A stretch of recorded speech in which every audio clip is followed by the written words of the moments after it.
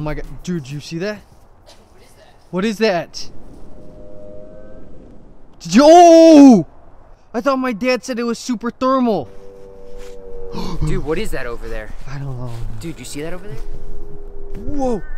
Dude, what, the What is that? I fuck? don't know, man. Dude, pick the slack line, dude. Fuck! Ah! Fuck! Ah! Dude, we gotta get out of here. Come on now. Dude, it's going closer. Dude.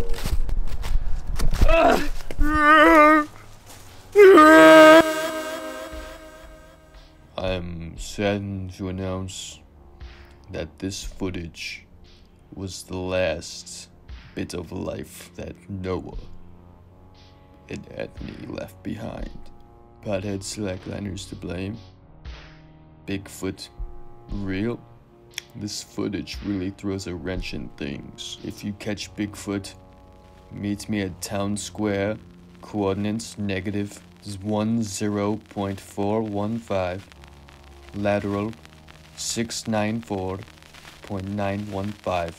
Roger out, affirmative action.